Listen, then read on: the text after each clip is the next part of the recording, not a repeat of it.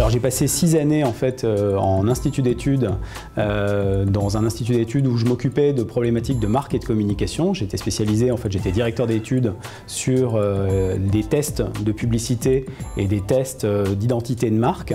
Donc j'ai beaucoup travaillé avec des annonceurs de différents secteurs, que ce soit sur la banque, l'assurance, les services, etc.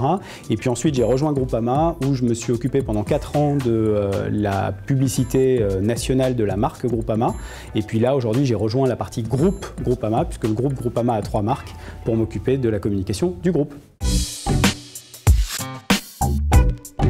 Le premier élément, c'est de faire très attention à euh, la cohérence euh, de ce qu'ils font, c'est-à-dire veiller à ce que ce qu'ils font serve directement l'identité de la marque. Le deuxième élément, c'est d'essayer de casser les logiques de silo.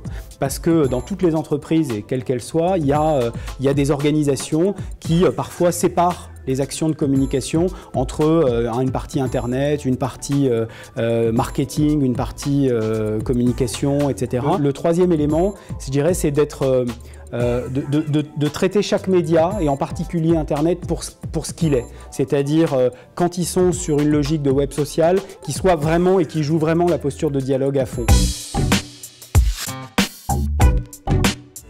Euh, j'ai impressionné par la diversité en fait des, euh, métiers auxquels euh, vous formez les étudiants et puis je dirais le côté aussi pointu de ce qu'on ce qu'on leur apprend. J'ai vu qu'il y avait toute une partie effectivement de création numérique. Ce qui me paraît important et on en avait discuté, c'est d'avoir un contrepoint par rapport à, une logique de marque ou de communication. C'est-à-dire que pour bien faire la logique de création numérique, il faut bien comprendre aussi les marques et donc euh, mettre effectivement l'accent sur ce, type aussi de, formation me paraît important.